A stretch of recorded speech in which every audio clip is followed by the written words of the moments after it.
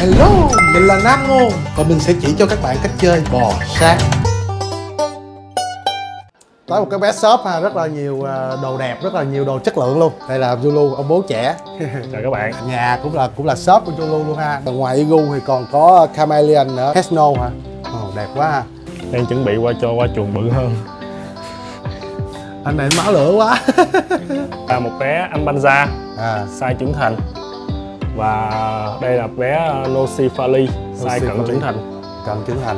màu của Nocifali nó sẽ có đặc trưng là màu xanh À. với sọc thân màu trắng và chấm đỏ trên thân còn về Ambanza nó sọc đỏ với những cái ờ, ba màu đỏ Vâng, đó. Tới cái phần nào ta? Tới uh, mình ờ, sẽ tới về nói về con Basin đi Basin đi. một cái con rất là đặc biệt Ok các bạn, cảm giác đầu tiên khi bước vô phòng này là rất là mát ha Có gắn máy lạnh, mở máy lạnh Để à, phù hợp với lại cái à, điều kiện sinh sống của à, cái dòng này. Rồi nó bự. Đã quá em.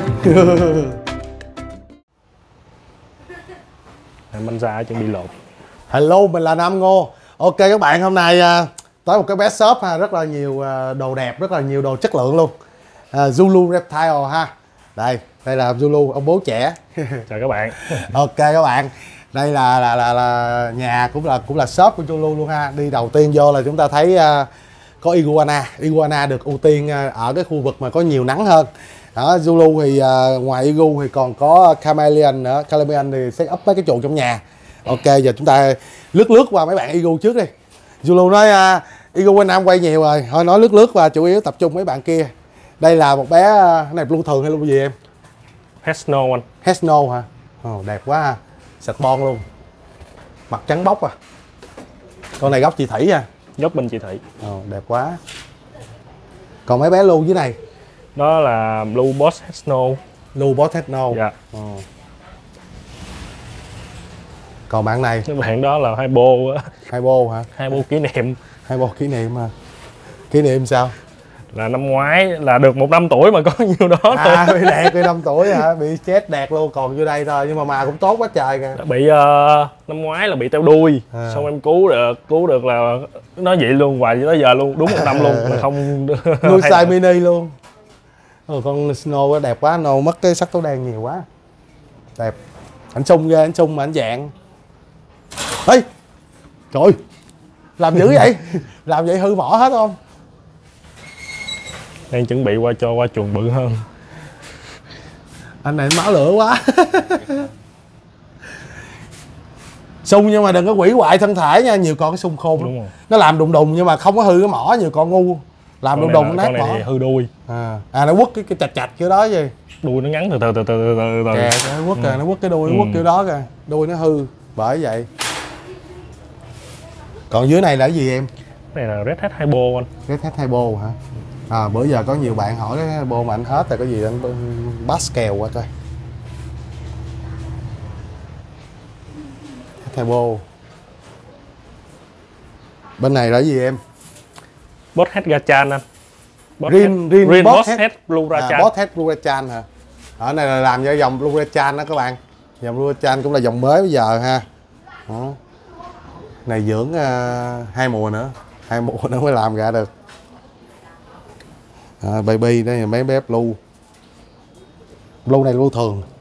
Bot head snow anh nó chung với này á mà nó size nhỏ hơn nên em để À. riêng qua.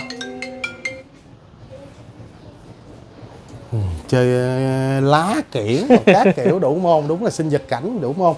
Ok các bạn à, Igu thì nói nhiều rồi lướt lướt qua thôi. Ở đây thì à, theo mình biết là thứ nhất là những à, ở trong này còn mấy bé Snow nè mấy bé à, Snow này là Snow Albino rồi Blue uh, Snow là mấy bé này là của Zulu tự à, tự lai tạo ra ha. Còn mấy bé Het Chan rồi nữa năm tới- sắp tới sẽ có nhiều sản phẩm nữa.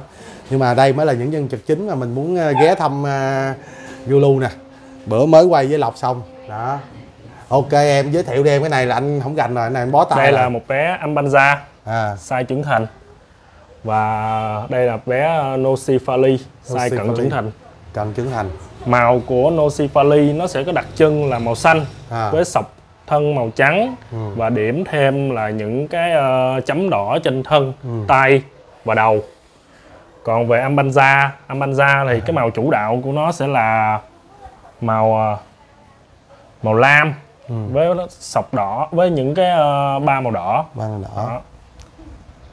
Ba màu đỏ là sọc từ trên sọc xuống đúng, đúng, rồi không? đúng rồi. Rằn ri à, đẹp. Thì bé này đang chuẩn bị đột nên cái màu nó sẽ hơi bị trùng xuống một xíu. Này nó phân dùng ở đâu ta? Phân dùng Amanza anh. Còn ở đây là phân dùng uh, Nocifali thì tên của Bander thì nó sẽ được gọi theo phân dùng của nơi nó ờ, sống. Ừ. tùy có rất là nhiều nó chia theo nhiều khu vực. Đó. thì mỗi khu vực có một tên riêng thì nó người ta sẽ đặt cho tên của những con này. Và khi mà mình ờ, thấy trên những ờ, trang nước ngoài nó sẽ có những cái tên rất là hoa mỹ như là uh, Thor rồi ờ, nói chung là một cái tên riêng.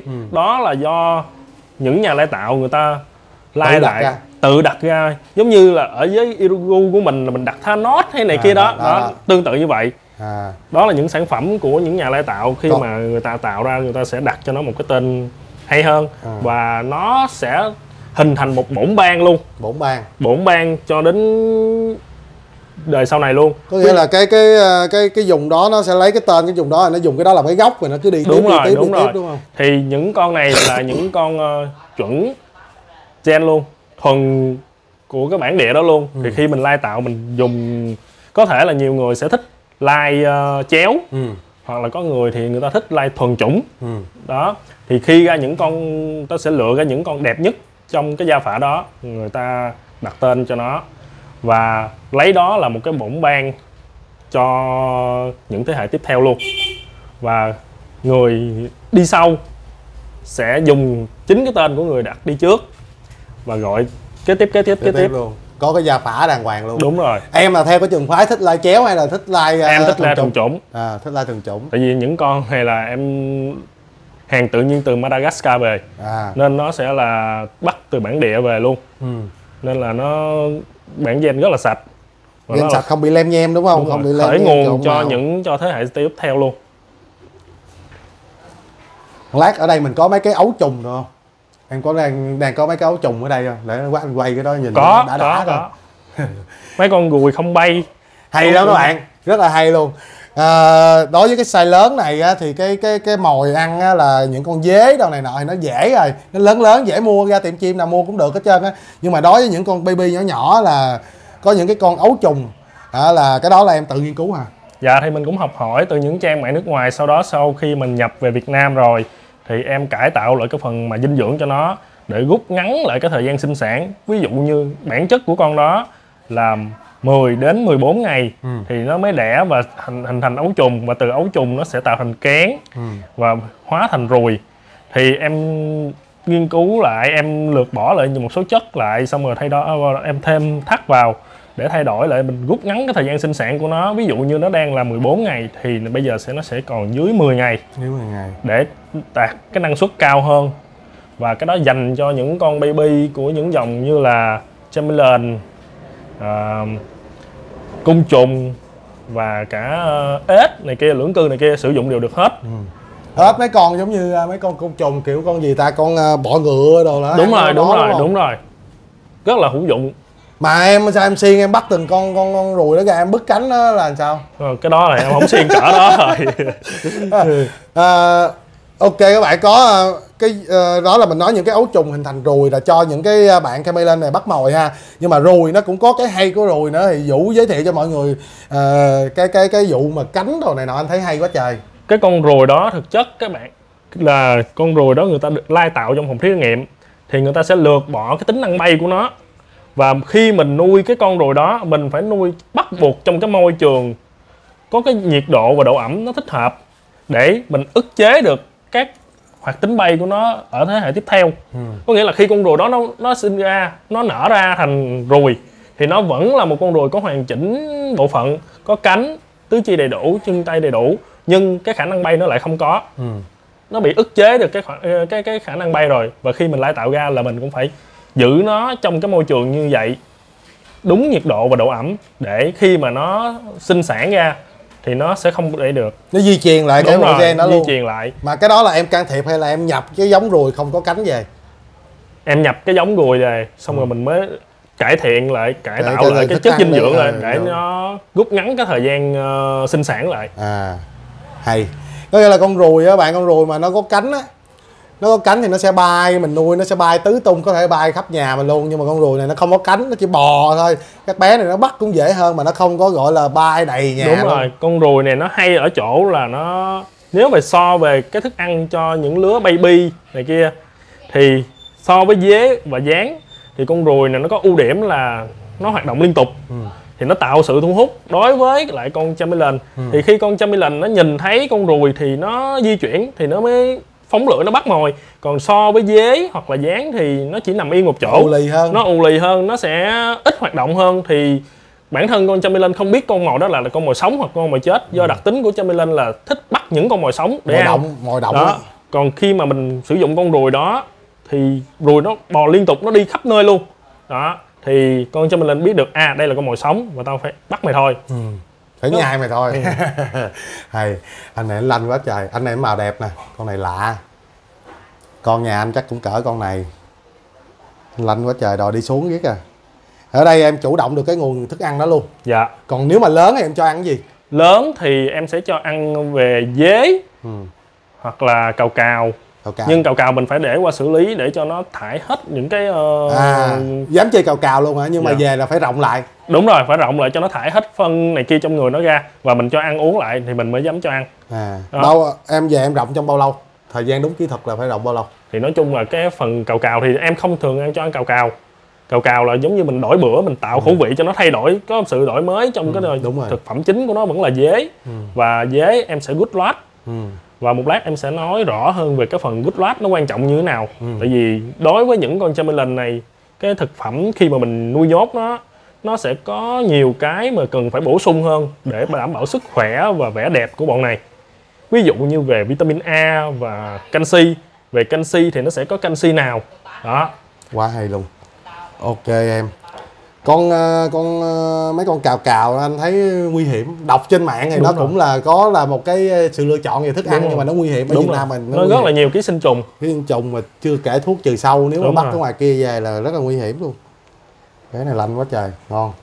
Ok em vậy bây giờ mình sẽ tới cái phần nào ta? Tới uh, mình sẽ tới về nói về con bison đi. Ba sừng đi. Một cái con rất là đặc biệt. Ok mình cho mấy con này vô ha. Vô đi. rồi mình đi lên lầu mình sẽ à, quay cái con bison một cái con à, phải nói là khá là mới lạ. Hàng đỉnh hàng đỉnh giấu trong nhà. Như con đó có mình em rồi đúng không? Dạ.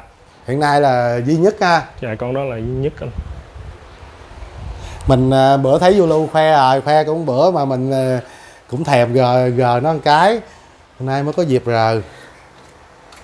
Để các bạn coi đây là những cái à, những cái mẫu chuồng à, của Chameleon ha thường theo form đứng để tạo cái không gian lên xuống nó, nó ở trên thì nó nó nhiều nhiệt hơn ở dưới thì nó mát hơn. Đó. Hiện lát uh, Vũ Zulu sẽ nói à, rõ hơn cách set up chuồng nãy bạn đây là những bạn dế ha. Những bạn dế cũng đang được à, áo một cái lớp này là canxi đúng không? Dạ đúng rồi. Đó, à, đang áo một lớp canxi. Ui sung dữ à. Áo một lớp canxi đó để cho nó nó khi mà ờ, chameleon nó ăn con dế này sẽ ăn được tích hợp luôn canxi. Ok bé này ở chuồng nào em trên này còn một tầng mà đang trống nè. Dạ cái tuần này em bán rồi. Ở đây còn có một con viridis mà con đó nó nhát quá. Bắt quá à. ừ. con đó nó nhìn cũng lạ lắm. Xanh lét à. Đi lên nè. Vũ uh, Zulu là cũng uh, lai tạo cho sinh sản đẻ được uh, uh, chameleon ha panther. Uh, veo thì quá đơn giản đúng không?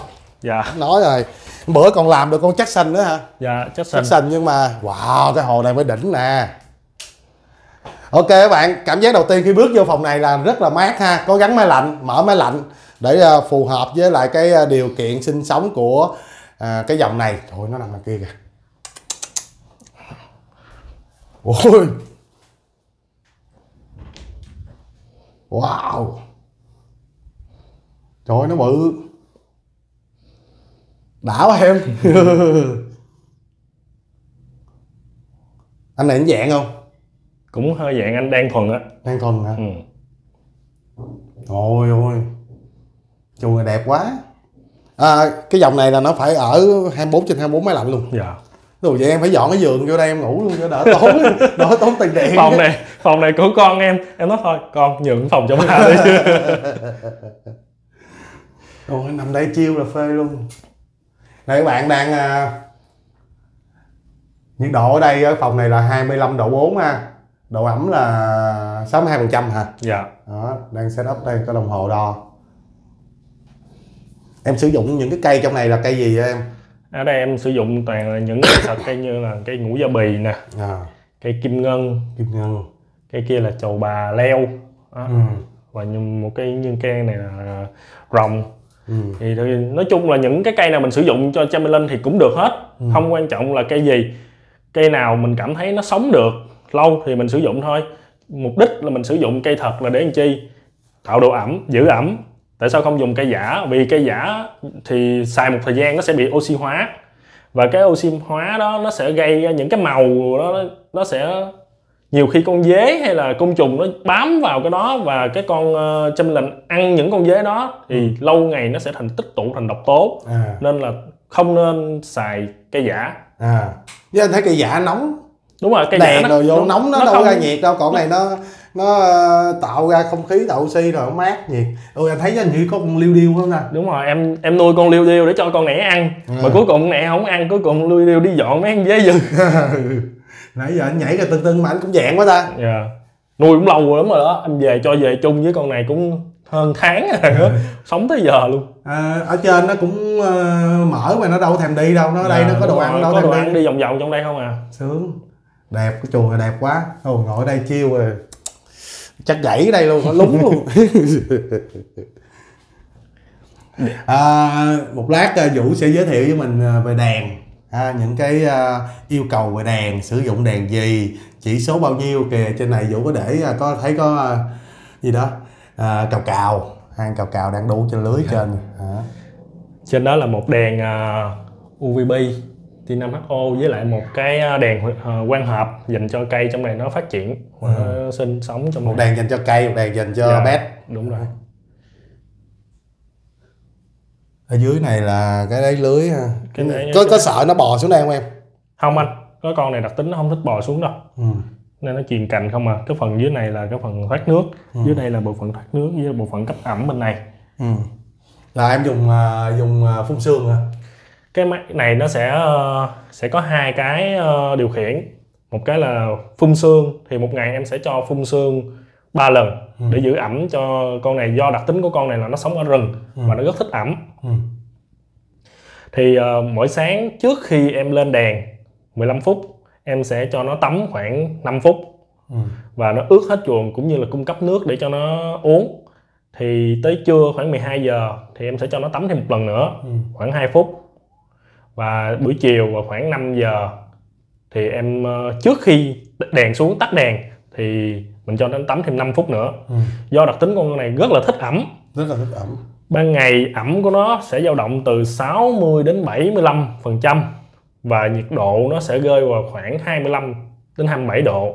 Nhưng riêng về ban đêm thì nhiệt độ của nó sẽ rơi vào khoảng 18 đến 22 độ và ẩm phải từ 95 đến 100 phần trăm hoàn toàn ẩm.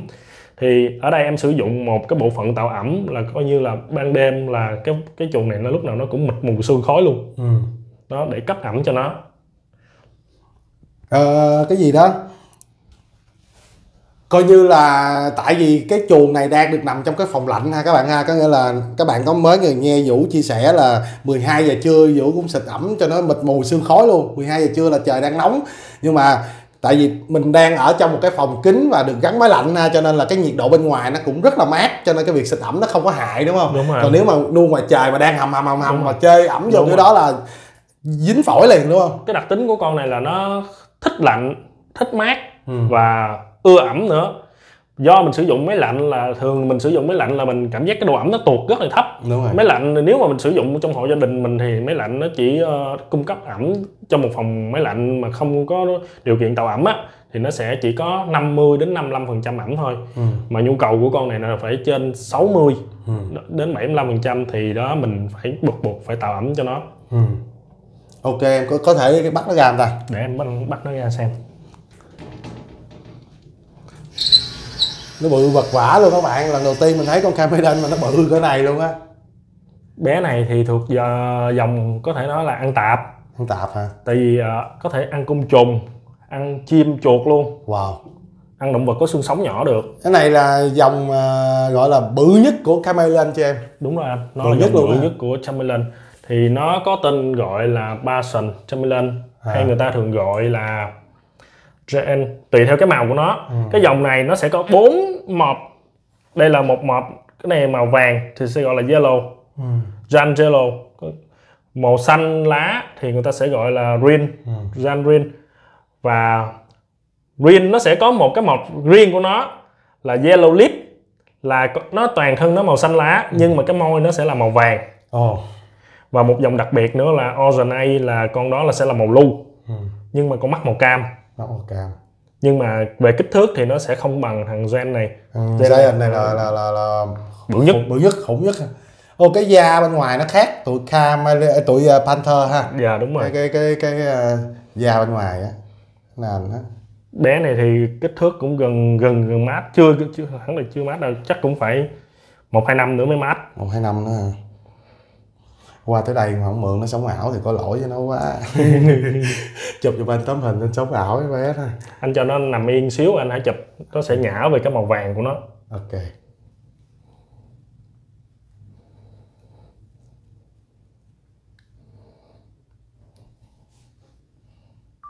Ít từ từ em mới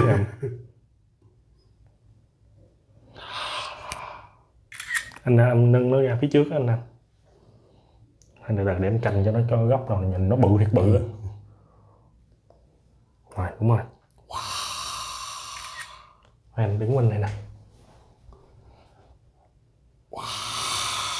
Nhìn nha.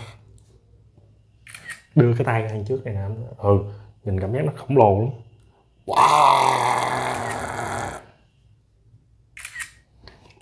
Ôi ôi đã. Ôi đã bự rồi có hình sống ảo rồi. Về cái con này á thì thực sự em cũng đang tìm hiểu về cái ờ, đặc tính của nó do nó là tự nhiên về nên mình cần phải có thời gian để mình tiếp xúc với nó nhiều hơn. Ừ. để mình nắm rõ được cái đặc tính của nó. Ví dụ như trong môi trường tự nhiên thì nó sẽ sống ở những khu rừng mưa ở Madagascar. Ừ. thì theo mùa sẽ có mùa lạnh thì con này sẽ rơi vào trạng thái ngủ đông. Ừ. nên khi mà mình đem về môi trường nhân tạo mình phải tạo cho nó một môi trường thích hợp và hầu như là gần giống với gần môi giống trường. thiên nhiên đúng luôn. rồi.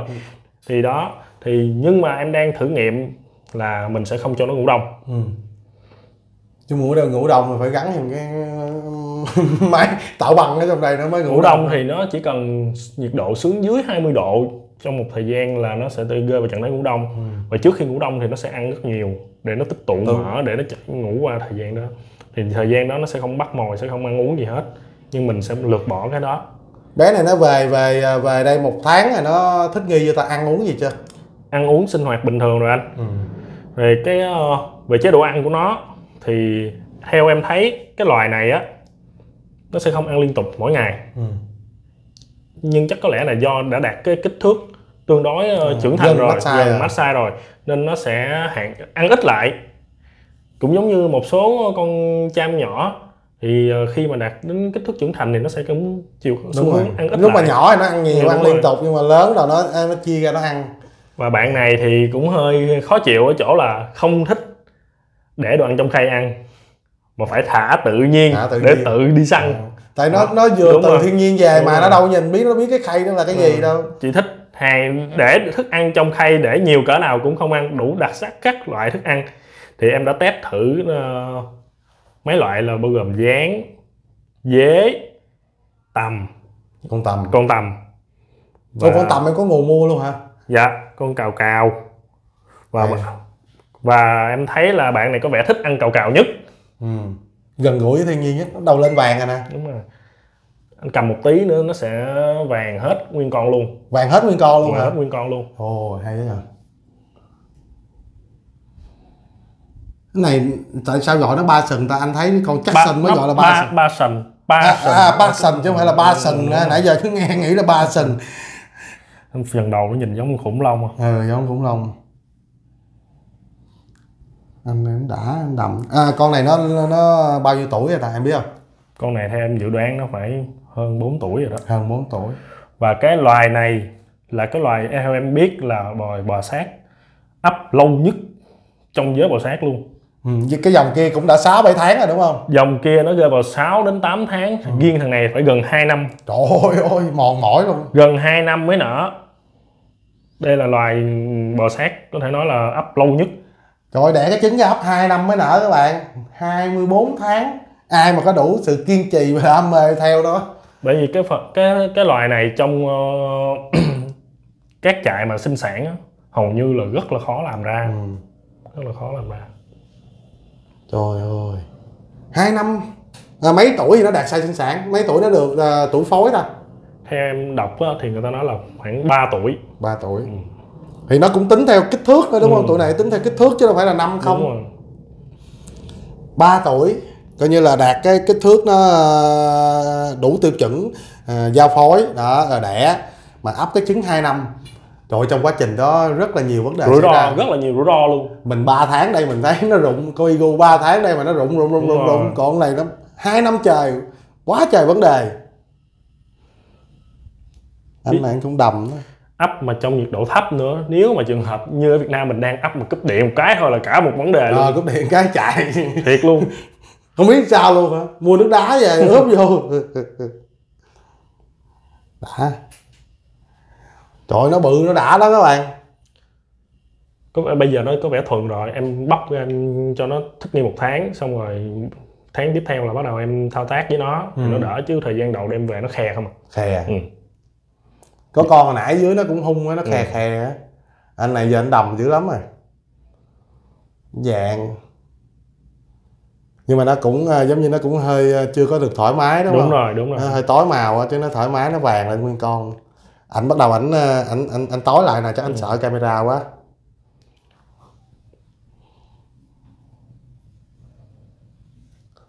Bé này chắc phải tám lạng anh tám lạng à Ừ. hơn cả kilo nặng cái này nó cỡ con Igu mét mốt á. Ừ. cái body chỗ này nè. Ừ. kích thước này nó khoảng 60 á. Ừ. anh quéo móng anh quéo nó cũng đau như quỷ. Và cảm giác nó không có gắt như mấy con kia. Ừ, cái gắt. da nó mềm hơn Ừ. cầm nó nó dễ chịu hơn mấy con kia. Mấy con kia thì da nó sần sùi.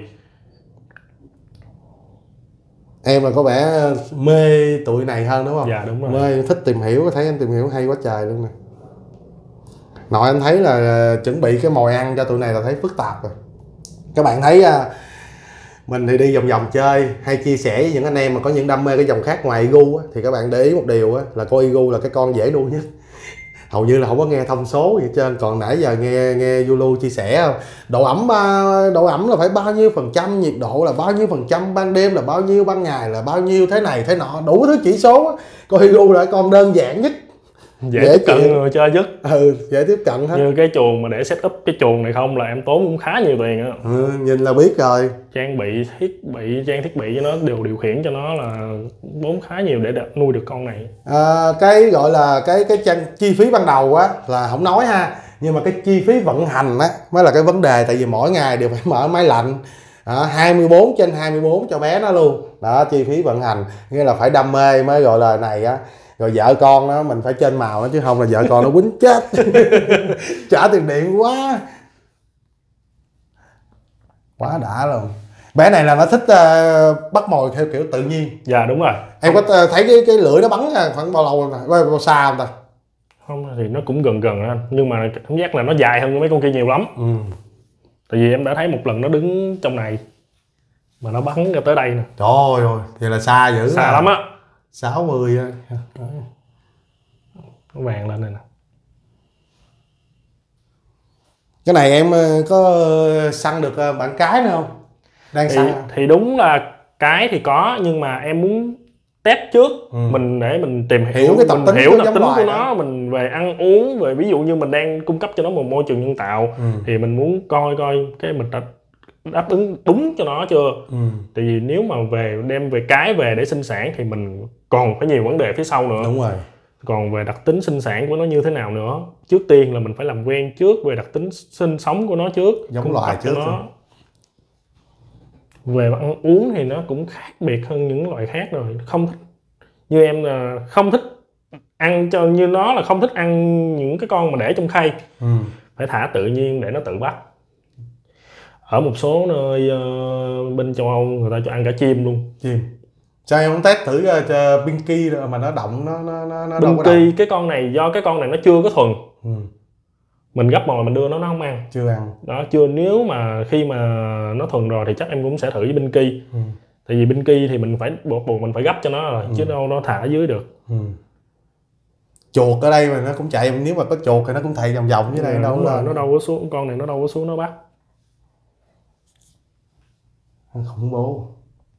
Đã. Dòng này nó sẽ có một cái dòng nhỏ hơn nữa tương tự giống như nó. Sub Betsy của nó là con Ristifer nhìn nó tương tự con này nhưng mà size nó nhỏ hơn. Ừ. cấu tạo bên ngoài thì nó cũng na ná tương đồng nhưng mà nó sẽ nhỏ hơn một chút xíu. Bữa anh thấy trên mạng cái bàn tay cái, cái, cái cầm cái con bự hơn con này chắc dòng này quá giống Dạ. giống vậy nè mà bự hơn nữa con Dạ. này còn lớn nữa mà. Đúng rồi. Khủng luôn về các bạn? Cái à, cái đầu nó rất là lạ ha. Cái mũi nó nè. Nó rất là lạ. Cái này nó cứng ha. Nhìn nó giống cái đồ. Ừ. con này cũng giống như các dòng Chamberlain khác là không thể nuôi chung được. Đúng rồi. Phải nuôi riêng. Vì cái con này cái kích thước khá lớn nó có thể ăn được những cái con bò sát nhỏ hơn nó luôn. Ừ. những con mà thằng lằn nhỏ hơn hoặc là Chamberlain nhỏ hơn nếu mà gặp nó sẽ ăn luôn. Ừ. nó là loài ăn tạp con này đưa Eagle Baby vô lúm lũm luôn LG rồi là hột sớt ha. Cái đuôi con này nó cũng ờ, quấn lại giống như cái dòng Cameron bình thường ha. Cái này là trạng thái thoải mái nó mới sẽ quấn dạ cái đuôi đúng này rồi? Chamberlain mình khi mình quan sát một con Chamberlain thoải mái á là mình sẽ quan sát về cái màu của nó ừ. và cái trạng thái đuôi của nó. Ví dụ như về đêm đi khi mà một con Chamberlain gọi là sức khỏe tốt mình nhìn nó lúc nó ngủ Ừ. nó ngủ là tư thế nó sẽ cuộn tròn đuôi lại người nó sẽ co lại Ừ. và lúc đó cái màu của nó là sẽ màu đẹp nhất trong ngày đó là một con Chamberlain có sức khỏe tốt Ừ. là trạng thái thoải mái nhất là đuôi nó sẽ quấn lại Đúng rồi. và cái màu sắc nó đẹp nhất đúng rồi Ừ. màu nó sẽ tươi nhất trong ngày luôn hay quá em có ờ, rất là nhiều bạn qua những clip anh chia sẻ rất nhiều bạn ờ, đầu đam mê Camillen á, em có năm cái ờ, lưu ý nào để ờ, cho những anh em mà nuôi ờ, nuôi Camillen để đừng có bị gọi là là là mắc những cái sai lầm gọi là cơ bản hoặc là này nọ không? Cái điều đầu tiên khi nói về nuôi Chamberlain á là các bạn cái lưu ý đầu tiên và đáng lưu ý nhất đó là không được nuôi chung. Ừ. đực cái hoặc đực đực hoặc là cái cái gì hết cái loài Chamberlain nó chỉ thích ở riêng một mình nó một cái khu vực của nó thôi Ừ. có thể là nhiều khi người bán người ta sẽ nói à, nuôi chung được không được nuôi chung được không sao hết vẫn lớn bình thường nè anh nhìn thấy tôi nuôi chung không đó là người ta nói như vậy để bạn thấy nó dễ Ừ. nó dễ bạn mới chịu chi tiền để bạn mua về bạn nuôi Ừ. thì mọi người ta sẽ làm đơn giản hóa mọi vấn đề để để mình sẵn sàng mình móc túi ra mình mua Ừ. nhưng con Chamberlain nó chỉ thích ở một lần đó mình nó và cái lưu ý thứ hai mà ở Việt Nam mình hay thắc mắc tại vì rất là nhiều bạn inbox hỏi em là anh ơi nuôi ngoài trời được không? Nuôi trong nhà như thế nào? Cái phần nuôi ngoài trời là cái phần đáng lưu ý nhất. Tại vì con này nó sẽ không thích ánh nắng trực tiếp Ừ. mà nó chỉ thích nắng nhẹ hoặc nắng hắt. Nhiều người nói ờ tôi nuôi ngoài trời được tôi bán cho bạn. Họ về nuôi không sao đâu. Đó là sai. Tại vì sao? Ngoài trời thì nó sẽ có nhiều cái ngoài trời ví dụ nhà anh hướng đông nhà tôi hướng Đúng tây rồi, rồi. thì cái ánh nắng buổi sáng nó nhẹ và ánh nắng buổi chiều nó rất là gắt Ừ. đó ngoài trời ví dụ như tôi đang nuôi ở dưới mái hiên hoặc là dưới tán cây nói ờ anh cứ đem về nuôi ngoài trời không sao hết thì người mua người ta cũng chỉ biết là nghe ngoài trời thôi thì về người ta để giữa cái sân thượng thì cuối cùng lè lưỡi chết con Chamberlain của người ta ừ. thì đó thì người ta đang có tâm thế là người ta muốn nuôi đang thích mà đang đam mê mà thì bây giờ mình lại tư vấn sai đường cho người ta. Cuối cùng người ta về người ta chết lại làm cho người ta nản, nản luôn. không thích nuôi nữa. Thấy nó Đó. khó nuôi quá. Đúng rồi. Nhiều người cái câu đầu tiên mà khi mà người chơi Chamberlain muốn bắt đầu chơi hoặc là người chơi từ một cái dòng bộ xác khác khi mà hỏi là ơi anh ơi con này dễ chơi không? Thì thực ra dễ hay không dễ là do cái setup ban đầu. Đúng rồi. Nếu mình setup ban đầu đúng với cái đặc tính của nó tạo cho nó một cái môi trường tốt nhất, thoải mái nhất, thì mọi chuyện nó rất là đơn giản. Hàng ngày chỉ việc cho ăn cho ăn cho ăn thôi. Ngày qua ngày cho ăn thôi. Và mình chỉ việc dọn vệ sinh cho nó để phòng tránh bệnh tật này kia là đủ. Và cái phần quan trọng tiếp theo là phần dinh dưỡng cho con Chamberlain. Ở Việt Nam mình á, người bán không có kinh nghiệm hoặc là người ta không có tư vấn đúng cho người chơi là như thế nào là hợp lý nhất? Người ta nói à, cứ về cho ăn rồi gắt canxi lên cho ăn mỗi ngày là được. Nhưng mà trong canxi nó sẽ có hai loại canxi không D3 và canxi D3 Ừ. cái loại này Chamberlain này đại đa số Chamberlain là sử dụng canxi không D3 không đề bà vì khả năng nó có thể tổng hợp được D3 rồi. Nếu mà mình cho nhiều quá D3 nó sẽ bị quá liều. Quá liều D3 sẽ dẫn đến nội tạng bị tổn thương. Ừ. và thứ hai là bị gút Good. sưng chân xương khớp rồi gối loạn cầm nắm các chi ừ. một số con Chamberlain anh thấy trường hợp mà nó bị ờ, nắm không được hoặc là bắt mồi không được Ừ. đó là do bị gối loạn và cái con này thì khi mình cho ăn thì mình nên cho ăn hàng ngày là ăn canxi không D3 Ừ. canxi không D3 mình sẽ gắt lên côn trùng và côn trùng sẽ phải được good lot Ừ. tại sao phải good lot vì cái con này nó cần vitamin A. Ừ. mà trong côn trùng lại không có vitamin A. Vitamin A thì giúp cho thị lực của nó tốt hơn. Thì anh thấy cái con Chamberlain lúc nào con hai con mắt nó nhìn theo hai hướng khác nhau. ừ. nó chuyển động liên tục. Cái cái cái giác quan- cái cái cái thị giác của nó rất là cần thiết rất là quan trọng. Thì khi mà con dế ăn con sâu con dế nó ăn vô những cái ờ, thực vật đó. Thì trong thực vật đó sẽ chứa beta carotene. Thì những con này không thể tự nào tự tổng hợp vitamin A được mà sẽ nhờ cái con dế cái con côn trùng đó là vật trung gian Ừ. để tổng hợp vitamin A và cái con này nó sẽ ăn vô để bổ sung vitamin A. Nó hưởng luôn. Đúng rồi. Có nghĩa là đối với những bạn nuôi Chamberlain thì các bạn chú ý điều này. Nên bổ sung canxi không D3 hàng ngày trong mỗi bữa ăn. Ừ. và canxi có D3 một tuần một lần để phòng chừa trường hợp thiếu hụt D3 và cái phần thiếu hụt D3 đó nó sẽ bị nó sẽ được đèn. Nếu bạn nuôi trong nhà quyết định cái vấn đề đó Ừ. thì cái phần đèn đó mình sẽ nói sau. Còn vitamin A thì bắt buộc phải dùng thì ờ, mình sẽ bổ sung qua hình thức là cho côn trùng good lot đầy đủ các loại lót cho côn trùng là bằng cái gì là cà rốt nè à. bí đỏ nè Ừ. các loại rau xanh À. màu xanh đậm thì nó để tổng hợp beta carotene lại đó là tiền chất của vitamin A Ừ. thì đó thì khi mà nó, con côn trùng ăn vô thì nó sẽ là vật trung gian để tạo ra vitamin A hay quá đó vitamin A nó sẽ giúp cho thị lực nó tốt hơn nè tránh sưng mắt nè ừ. tránh sưng môi nè màu nó sẽ tươi hơn Ừ. đó còn thiếu hụt vitamin A nó bạn sẽ thấy là nó bị ờ, cái phần đuôi nó sẽ bị khô Ừ. liệt chi đó mắt sẽ yếu đi còn thiếu vitamin à, thiếu canxi khi mà mình không cho ăn đầy đủ canxi thì cái nồng độ canxi trong máu nó thấp Ừ. nó buộc nó phải lấy canxi từ trong xương xương, ra ừ. thì lúc đó xương nó bị mềm đi thì sẽ dẫn đến cái tình trạng là bị thoái hóa xương hay còn gọi là MBD á Ừ. đó quá hay luôn. Hay không bạn? Rất là hay luôn. Có tìm hiểu nghiên cứu ha y một nhà khoa học luôn. Ok em rồi à, à, đề em sẽ giới dưỡng. thiệu giới thiệu con ruồi. Con rồi đây là con ruồi.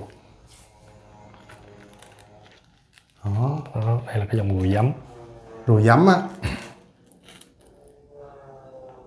Ồ, thấy bò lúc nhúc đã cái này thì dòng này là Drosophila hay đây. Nó có kích thước là 1 phần 8 inch.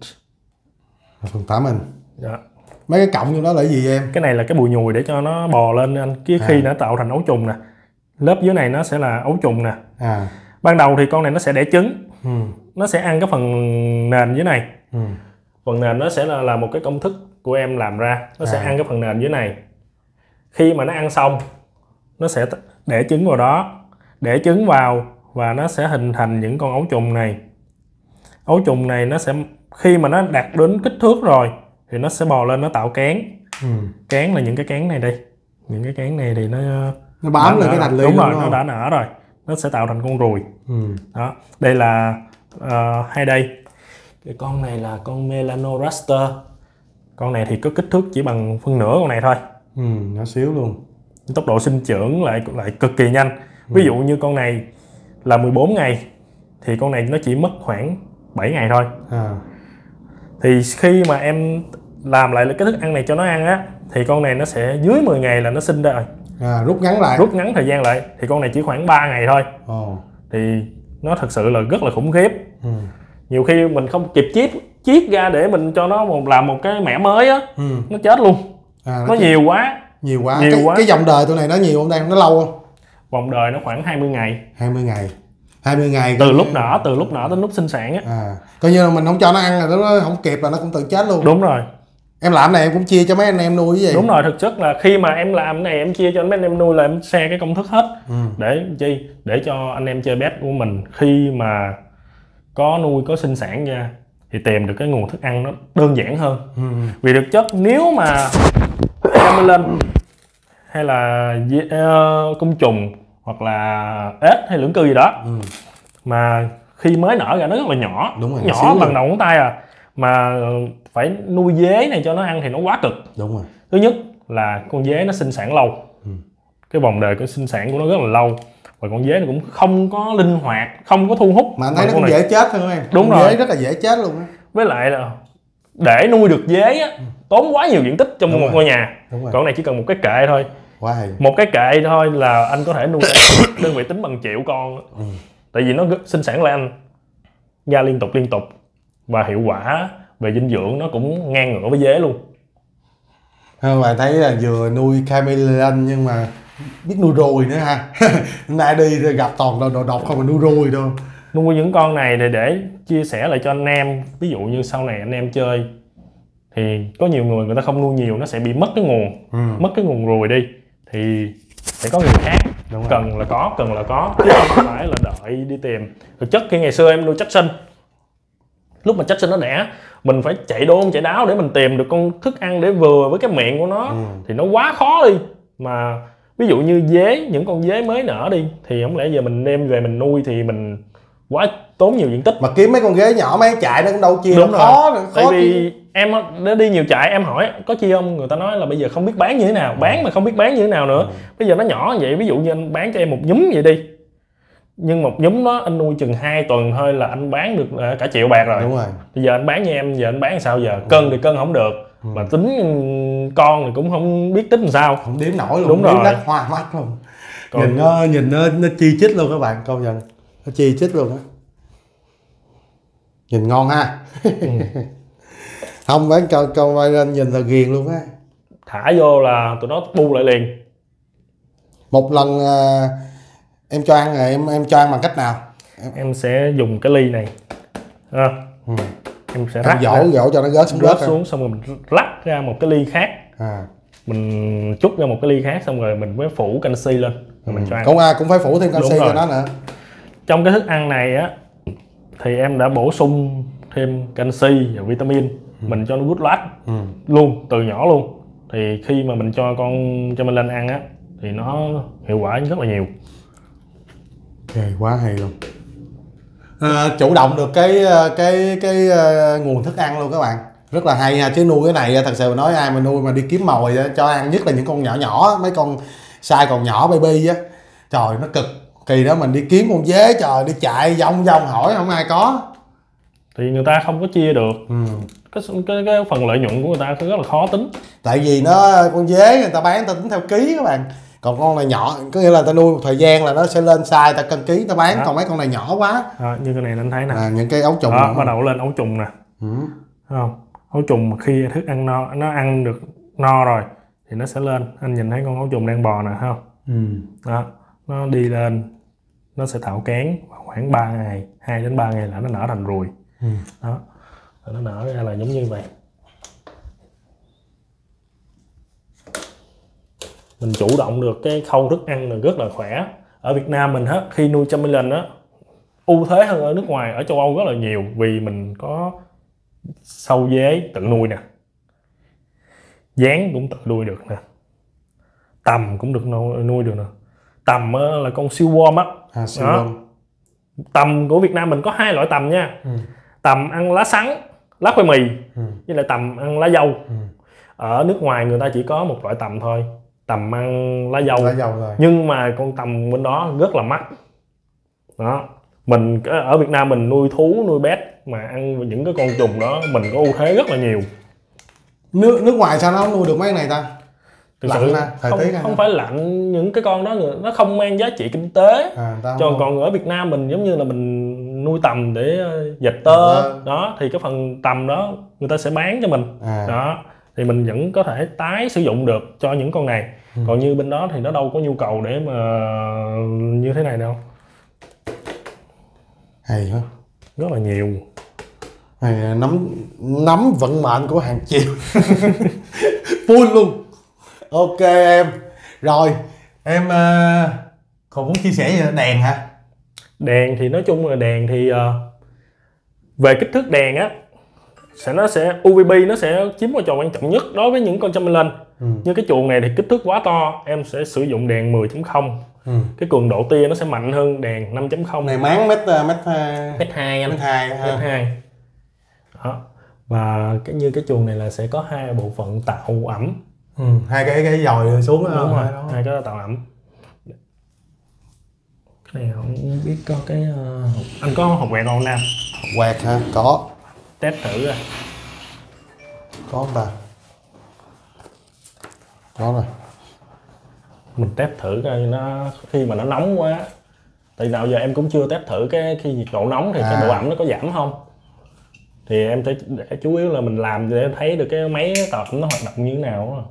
Đó là cái ờ, cái cái cảm biến đó các bạn nóng rồi. quá là nó sẽ ờ, tự động ờ, xịt ra độ ẩm. Ôi, cái này không được à, phải dùng máy sấy khò cho nó khô lại nó mới ẩm được. à, thì về đây là hai cái này là ví dụ như ban ngày độ ẩm nó dưới 70 là nó sẽ chạy cái phần tạo ẩm. Ừ. cái phần này sẽ đo cái phần ờ, tổng thể bên này còn cái đo- đồng hồ bên kia nó sẽ đo cái phần nghỉ ngơi bên đó này. tạo À. điểm mát bên đó. Bên này là cái điểm chính của con uh, Basin bên. À điểm này là điểm phơi đúng không? Đúng rồi. điểm này điểm mát hơn để Đúng nghỉ rồi. nè.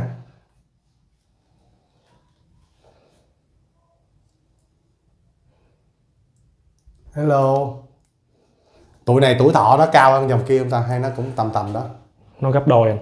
Cũng mười mấy năm hả? Mười mấy năm á. Ồ vậy cũng có lý cái con kia anh vẫn đang tăng cái tuổi thọ nó hơi ngắn quá. Dạ đúng rồi. Nhưng mà cái thằng Bander cái đường đi nó sẽ rất là dài. Ừ. giống như mình chơi EU mình cảm giác mình lai tạo ra, mình cảm giác khi mà mình nuôi mình sẽ thấy ờ cái mọc này đập với mọc kia. Từ từ từ từ từ nó sẽ mở rộng ra rất nhiều. Thì À. con Bander nó cũng như vậy. Vậy hả? Nó rất là dài. Đến Ừ. bây giờ anh thấy tại sao bên nước ngoài người ta vẫn chơi rất là sôi nổi? Là do sao? Người ta càng ngày cái bản đồ gia phả nó càng ngày nó mở rộng ra. Ừ. còn ở Việt Nam mình khi mà mình đem con Bander về nhiều người mới nói ơi sao cái con chỗ này mắc con chỗ kia rẻ? Là sao? Là do con Bander khi mà mình đem từ có thể nói là đem từ Thái về đi cho dễ hiểu cho dễ hình dung. Thì nó bị lai tạp quá nhiều. Ừ. thì khi mà lai tạp quá nhiều thì nó sẽ không có điểm nào nổi bật hết. Nó cũng không có gia phả đi một chặng đường dài thì nó bị hỗn loạn rồi. Ừ. cái màu sắc nó bị tùm lem nhem hết rồi nhìn nó lem nhem đúng nó không không? đâu ra đâu hết. Còn như bên phương tây người ta chơi là người ta sẽ chú trọng vô cái phần thuần chủng. Mỗi một cái à, mỗi cái khu vực nó có cái điểm mạnh nào nó Đúng phải rồi. vậy. Nó sẽ đem cái điểm mạnh của con này của dùng này đập với điểm mạnh của con dùng kia và nó chọn lọc ra rất là nhiều. Ví dụ như để được một con xuất sắc nhất trội nổi trội nhất thì nó phải lai qua 4 năm đời. Ừ. đó.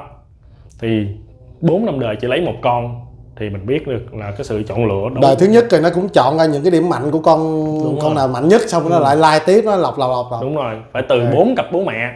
Đó. Đã vô tới chung kết chỉ lựa đúng một thằng thôi. Thằng đó là đem đi đá. Y như là trai trai ờ, tân kỳ tân quý là phải đẹp trai còn trai bình dương là phải đen đúng không? Mỗi một cái dùng nó phải có cái điểm mạnh đúng, đúng không? rồi nó phải đem con đẹp nhất của nó để nó tạo ra cái thế hệ tiếp theo. Ừ. đó là như vậy. Thì bản đồ gia phả nó mới rộng mở. Ừ. và cái giá trị nó mới được nâng lên. Còn như ở Việt Nam mình theo xu hướng chơi là giống như càng ngày mình càng thu hẹp cái môn chơi mình lại. Mình ví dụ như thấy con này nó hỗn loạn rồi cái màu sắc nó không đẹp bán nhiêu đó tiền. Người khác thấy anh này bán được cũng lấy cái nguồn đó nhập về. đóng nha. Bán rẻ hơn xíu. Ừ. thì từ từ từ từ từ từ cái môn chơi nó bị thu hẹp lại. Ừ. đó. Cuối cùng là cái con đó vô hình ở khu vực Việt Nam đi. Nó không có giá trị. Đúng rồi. Đó nó là như vậy. Nó về ờ, phạm trù tầm nhìn đó. đúng rồi. Với lại à, quan trọng là cái kiến thức nè. Người ta không có kiến thức người ta nhìn đâu biết con nào đẹp nào xấu đâu. Thì người ta khi mà nó ô con tắc kè hoa này ở Việt Nam có một cái điểm cần lưu ý là người bán hay nói con này nó đổi màu được. À, đổi nhiều màu lắm. Không tin chị mở youtube lên chị coi. Trên đó thì trên youtube có một cái clip là đưa con tắc kè đi vô xong rồi làm kỹ xảo điện ảnh gì đổi màu xanh màu đỏ màu vàng. Đừng mắt kiến màu gì ra màu đó rồi, đúng không? thì đó giống như là à chị nhìn đi. Đó nó làm được giống như vậy nè. Đó giống như là một cái phương thức gọi là lùa gà. Luôn gà. Chứ sự thật nó là như thế nào? Con Chamberlain nó không đổi được màu xanh màu đỏ màu vàng gì hết. Cái màu nó nó chỉ là sáng lên hoặc là tối lại đi.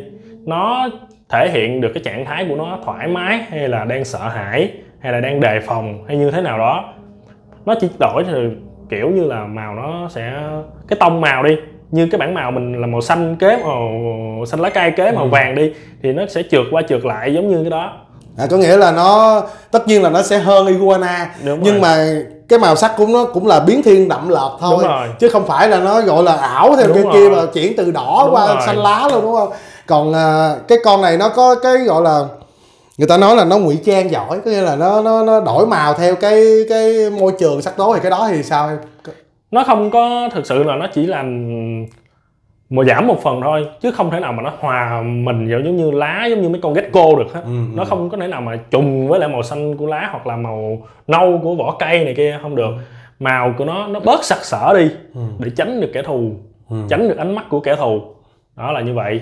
Còn mà nói mà nó biến màu này kia là không có. Với lại mỗi lần mà nó biến màu vậy nó có bị tiêu hao năng lượng hay là gì không? không đó là một cái đặc tính của nó. Đặc tính bình thường thôi nó giống như dưới cái lớp da của nó nó có, có cái hệ lật qua lật lại gì đó. À. đó lật qua màu này thì màu sáng hơn lật qua màu này màu tối lật hơn. mặt như lật bánh tráng đúng, luôn. đúng rồi.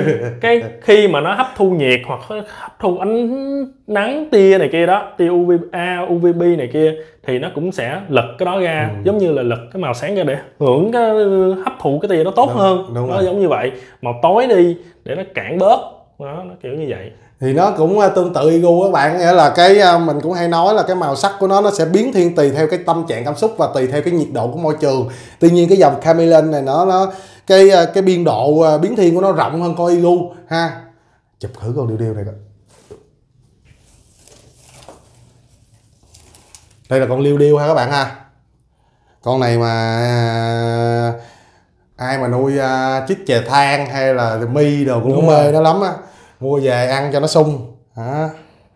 thì cái này là Zulu là thả trong chuồng để cho con ờ, cái ờ, cái bé uh, chameleon này nó nó, nó ăn nè.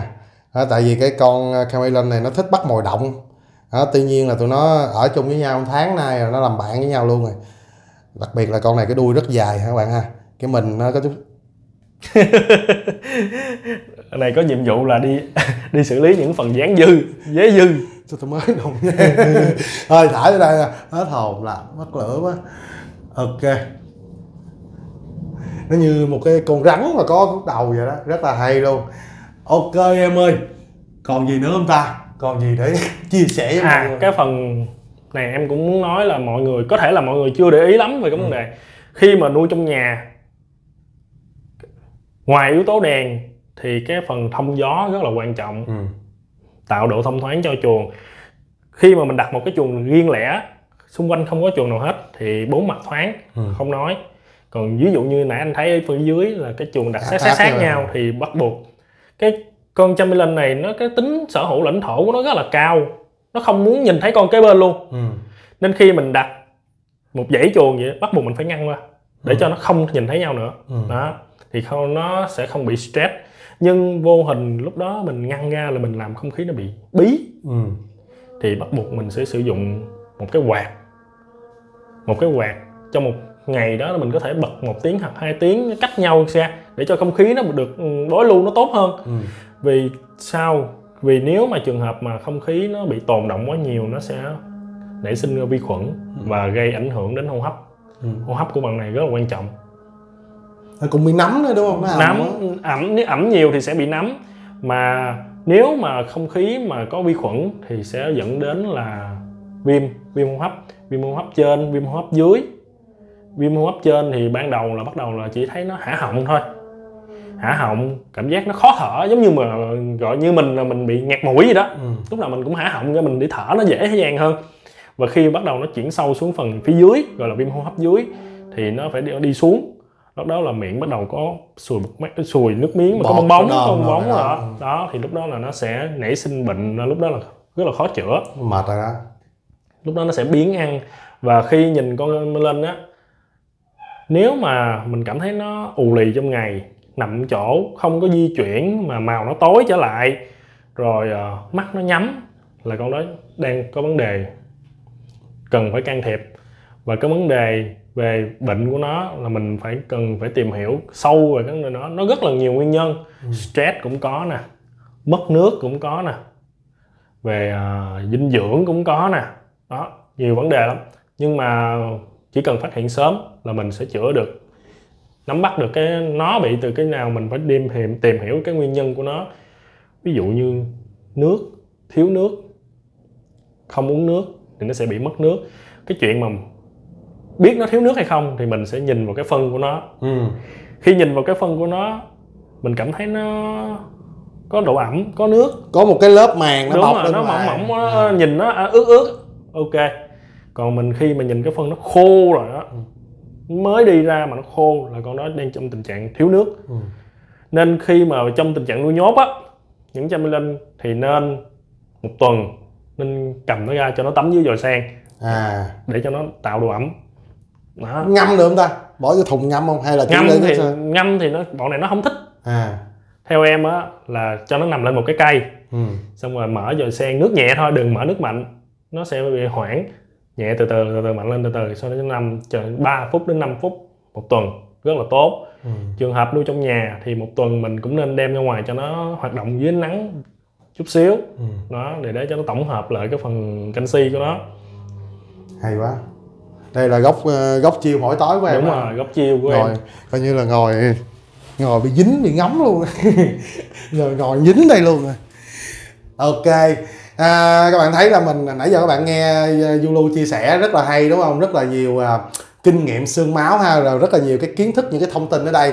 Mình hứa là mình sẽ à, dẫn dắt đi gặp toàn là những à, hàng chất lượng kiểu này không à. Phải tìm hiểu nghiên cứu đưa ra những cái thông tin chính xác chứ còn à, không có kiểu là nói chuyện theo cái kiểu cởi ngựa xem hoa kiểu mà phớt phớt bên ngoài đó kiểu giống như các bạn thấy Zulu nãy giờ cũng nói thật cái thực trạng này là nó nó khá nhiều trong tất cả các dòng luôn có nghĩa là người bán đôi khi người ta không có hiểu là cái con người ta đang bán nữa người ta cứ tư vấn mọi thứ cho nó đơn giản nhất dễ dàng nhất để cho bạn móc túi tiền ra một cách gọn lẹ nhất.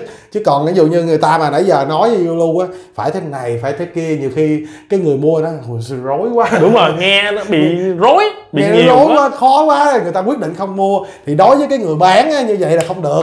Người bán thì yêu cầu của họ là phải chốt đơn cho nên là mọi cái sao cũng được hết á ngoài trời cũng được. Xịt ẩm sao được đèn nào cũng được ăn cái gì cũng được. Nói chung là nó rất là như vậy cho nên là nếu mà bạn nào mà có đam mê á thì à, hãy xem mấy clip rồi có thể à, nhắn tin cho Zulu ha sẵn sàng chia sẻ hết tất cả mọi cái. Chủ yếu là cho các bé nó khỏe mạnh tốt đẹp. Đó chơi ngày càng có chiều sâu. Ok em còn gì chia sẻ với mọi người nữa không? Giờ bây giờ mình sẽ nói về cái phần setup đi. Ừ set up đi. Set up những dòng phổ thông đi. Nó sẽ có cái nhìn nó hay hơn. Ok em. Đó, mình đi xuống dưới mình nói về những con bander đi. Ok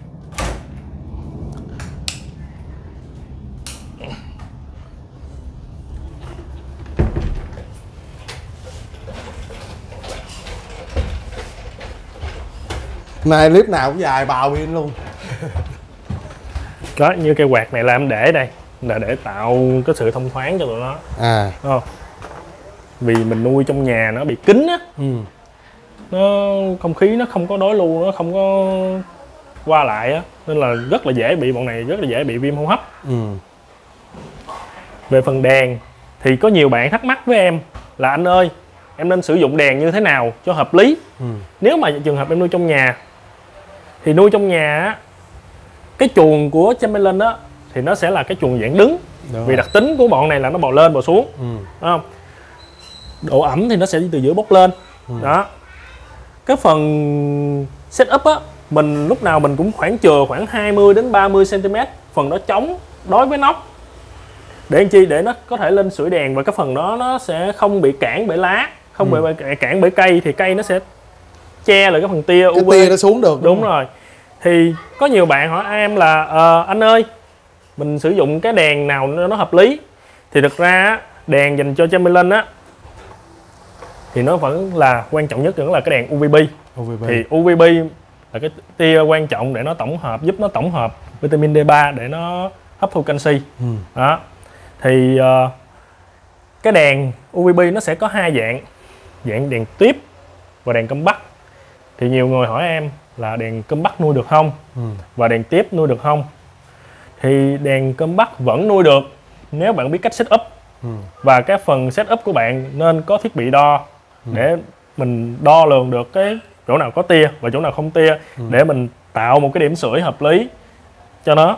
Ví dụ như là bây giờ em đây là em sử dụng đèn ờ, tiếp T5HO Ừ. 5.0 thì nó sẽ có cái lượng tia UV nhiều hơn do trong chuồng của mình là sử dụng nhiều cây Ừ. đó trong chuồng mình sử dụng nhiều cây thì cái tia UV của cái đèn tiếp nó sẽ đi thẳng xuống Ừ. nó có chiều hướng đi thẳng xuống và nó trải dài hơn Ừ. đó Độ phủ nó rộng độ phủ hơn, nó rộng hơn, có nghĩa là nó nằm dưới những kẽ lá Ừ. khi con cham nó nằm dưới những kẽ lá thì nó vẫn hưởng được cái tia Ừ. còn đối với những cái đèn xoắn như thế này những cái đèn xoắn như thế này thì cái độ chiếu của nó cái phần tia của nó nó rất là thấp Ừ. thì nó khi mà mình sử dụng thì nó chỉ khoảng được một tấc thôi Ừ. được một tấc thôi thì mình đặt ở đây thì cái phần tia nó chỉ tới đây thôi Chi tới đó à đó Ừ. thì nhiều khi nhiều con ở lên thì nó không sẽ không nằm sát lưới Ừ. và nó cũng quan trọng một phần là do mình set up nếu mà mình set up cái cành cây mút ở dưới này Ừ. và cái ờ, bóng trên đây mà tia nó chỉ tới đây thì nó nằm dưới Xa này quá nó không hưởng được tới được ừ. thì bắt buộc tốt nhất là nên sử dụng đèn tiếp để khi con Chamberlain nó nằm ở khu vực nào trong cái phần cây của nó nó vẫn có hưởng được tia. Đây là cái cái đèn tiếp nè các bạn. Thì uh, về mặt kỹ thuật á, là cái đèn tiếp này cái cái cái ờ, độ độ đánh ánh sáng á là nó nó xuống tới tận cái đáy chuồng luôn. Hả, nó, nó đánh rất là sâu ha. Đó Vũ mới vừa chia sẻ đó là nó sẽ hưởng được cái tia. Còn những cái bóng này thì nó sẽ thấp nó, hơn. cái bóng này thì là ở đây em không sử dụng bóng xoắn đó nữa mà ở đây là em sử dụng bóng UVA UVA UVA thì sẽ có tác dụng sưởi cho tụi nó à. ví dụ như một ngày sau buổi sáng thường là em sẽ set cho nó cái lịch sinh hoạt như thế này 6 giờ là hệ thống phun sương sẽ làm ướt toàn bộ chuồng ừ. để tạo độ ẩm và cung cấp nước cho tụi nó uống Ừ. và khoảng nửa tiếng sau thì bắt đầu đèn này lên Ừ. UVA lên UVA lên thì lúc đó tụi nó bắt sẽ bắt đầu thức dậy hiểu không nó ra nó uống nước Ừ. và nó phơi Ừ. nó phơi xong rồi thì ờ, cơ thể nó có nhiệt rồi bắt đầu mình mới cho ăn Chàng. thì cho nó phơi khoảng chừng em bật đèn khoảng chừng 2 tiếng một ngày buổi sáng để cho nó phơi cho nó cơ thể nó có nhiệt. Xong bắt đầu mình tắt đèn. Ừ. thì nó sẽ đến rồi lúc đó mình cho nó ăn và sinh hoạt hàng ngày bình thường. Cái đèn UVB sẽ là ngày cái đèn mở từ lúc sáng sớm sau khi mà đèn ờ, sau khi mà phun sương cho đến chiều. Trước khi mà tắt á thì mình cho nó phun sương một lần nữa. Ừ. rồi mới tắt. Chuông dương lần nữa tắt. À, tắt là đi ngủ luôn á. Đúng rồi. Còn về đêm á nếu mà muốn con Chamberlain của mình nó đẹp á thì mình nên ờ, kiểm tra cái độ ẩm của nó. Thì cái độ ẩm thích hợp nó sẽ giúp cho cái da của con này nó mướt hơn. Ừ. màu sắc nó sẽ tươi hơn. Đó. Thì ở đây em sử dụng hai cái bình tạo ẩm để tạo ẩm cho nó. Vào ban đêm ví dụ như là phun khói xuống như nè thì nó tăng cái độ ẩm xuống. À cái này là xương xương này em đánh xương dạng khói luôn hả? Dạ. Cái ờ, buổi sáng thì mình sẽ đánh xương dạng nước. À xương xương tia. Đúng à, rồi. kia có dòi xương tia kìa. Còn về đêm là mình sử dụng dạng khói này nó ẩm tốt hơn. À. Nó sẽ không gây giật mình khi con này khi ngủ nữa. À. Tại vì khi nếu mà mình tối mà mình sử dụng cái kia thì nó sẽ bị giật mình. Đúng rồi. Đó nó sẽ bị loạn. Trong khi đó là tối rồi mình Lúc đâu có đèn đâu. tắt đúng rồi. đúng tối hùi rồi thì lúc đó là nó bị hoảng. À. thì mình sử dụng cái này thì nó sẽ không có gây tiếng động mà nó giữ ẩm tốt hơn. Hay quá. Cái này thì em sẽ bật vào lúc từ lúc 10 giờ cho đến uh, 5 giờ sáng em cứ mở cho nó dậy suốt luôn hả? Dạ đúng rồi. Ồ hệ thống thì nói chung là về đèn về tạo ẩm phun sương thì sử dụng ờ, tự động hết. À. đến giờ là nó tự động nó bật Nhưng- tự động tắt. À em là em cũng ờ, có cái timer hả? Dạ, chỉnh đúng hết tất rồi. cả đúng không? Cho nó tự động hết thì mình nhàn hơn cái việc Ừ. nuôi. Thì chữ nhiều người nói nuôi chăm lên sao phức tạp quá vậy. Nghe mình trình bày nói là ủa sao có phun sương rồi tạo ẩm rồi đèn giờ nào giờ nào? Nhưng là do người ta chưa có thể nắm được hết là những thứ này mình có thể set up tự động ừ. thì việc set up tự động xong rồi mình nuôi nó nó sẽ rất là thoải mái Ừ. rất là đơn giản hàng ngày chỉ việc cho ăn thôi chứ mình set up đúng rồi bé nó cũng sẽ không có bệnh tật đúng rồi nhiều. về ăn uống thì nó, nó như là em đã nói là ăn uống thì mình sẽ chia ra cho nó ăn canxi như thế nào thực phẩm của nó ăn như làm sao Ừ. dế là mình phải good load bắt buộc phải good load ừ.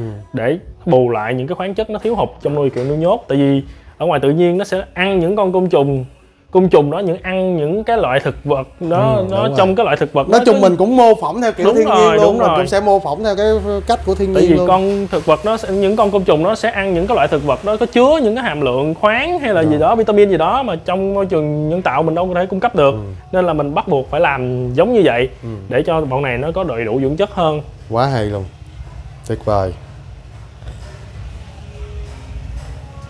đánh cái khối này cũng ờ, xương khối mờ nhân ảnh nè nhìn não nó sẽ không gây tiếng động về đêm cho bọn này nó sẽ không bị giật mình nó ok hơn là mình xài xương. Trong Đúng. nhà thì chỉ có như thế thôi còn nuôi ngoài trời nên lưu ý về cái khoảng mà ánh sáng. Ừ. tuyệt đối cho nên là không sử dụng ánh sáng trực tiếp. Không ánh sáng trực tiếp lấy ánh sáng xiên thôi. Ừ, chỉ Còn con cái này cũng đẹp quá nè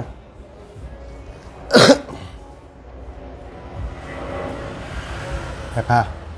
Rồi ok các bạn. À, hy vọng là nãy giờ clip nó ờ, vũ và nó quá nhiệt tình luôn đã chia sẻ cũng nói là tương đối là cặn kẽ rồi.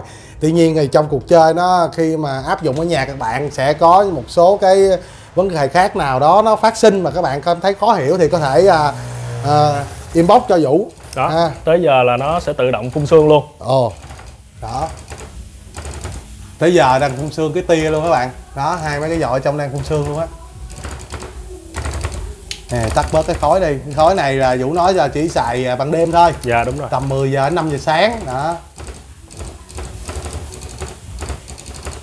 Ờ, ảnh đánh à, cái tiếng gì vậy ta? Cái máy bơm nó bị dư công suất á anh. À dư công suất nó tạch tạch tạch tạch á.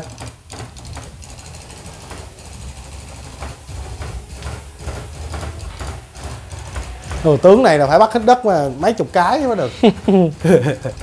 Ok các bạn à, những cái chia sẻ nãy giờ phải nói là rất là hay luôn rất là giá trị luôn mà không phải ai cũng chia sẻ với các bạn đâu ha. Toàn là với một cái tinh thần gọi là là là chia sẻ không à mới chia sẻ bạn cặn kẽ vấn đề vậy luôn. Vũ ơi ok nè mình hít đất cái bye bye mọi người nha. Rồi ok, ok. Rồi Vô. mình hết đất bao nhiêu cái nè? Em muốn bao nhiêu cái? Tiền luôn. Trường cơm đó Chưa cơ mà. anh sáng giờ mới được có gì bánh cuốn rồi đó. À. tướng này bao nhiêu pin cho nổi khỏe quá Ôi da. rồi Ừ. ok Ơi. mọi người hy vọng là những giây phút nãy giờ giúp cho mọi người vui ha bye bye rồi cảm ơn mọi người xin chào